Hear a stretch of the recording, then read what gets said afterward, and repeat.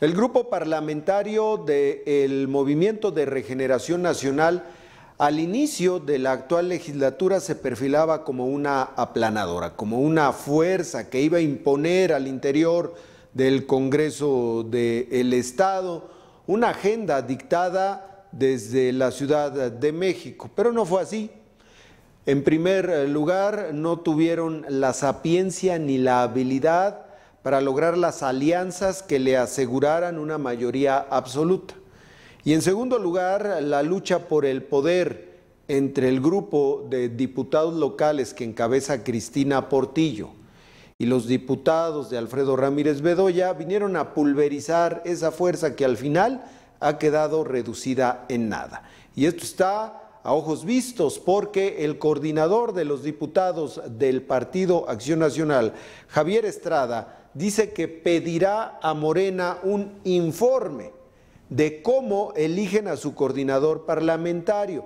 Dice que en este momento la Junta de Coordinación Política reconoce al diputado Fermín Bernabé como el coordinador, pero que todavía no es la última decisión, que van a determinar quién va a ser el coordinador, si Fermín Bernabé o Alfredo Ramírez eh, Bedoya y que, bueno, también se tendrá que definir quién encabeza en su momento la Junta de Coordinación Política, que era una de las atribuciones de Alfredo Ramírez. Esto es lo que dice Javier Estrada, el coordinador de los diputados del PAN.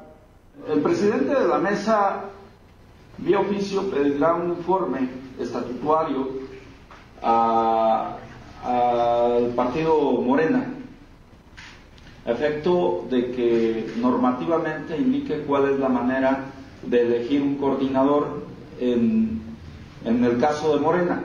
Por si en el caso del PAN, la facultad de nombrar un coordinador es del presidente. Hay otros partidos políticos que tienen otros métodos. Hay un oficio, una acta en, la presidencia donde la mayoría de los diputados que integran la bancada de Morena designan a Fermín Bernabé y al parecer es la normatividad que ellos tienen eh, establecida para nombrar el coordinador. Solamente para no caer en el terreno de las especulaciones es que se va a pedir un informe formal de los estatutos de Morena para que, para que informen a la mesa directiva. Y en ese transcurrir eh, se determine de manera formal quién es el, el coordinador. En este momento, Fermín. En este momento es Fermín. ¿Sí? Y bueno, ya después veremos también lo de la de la presidencia de la Junta de la Coordinación Política, de la Junta de Coordinación Política.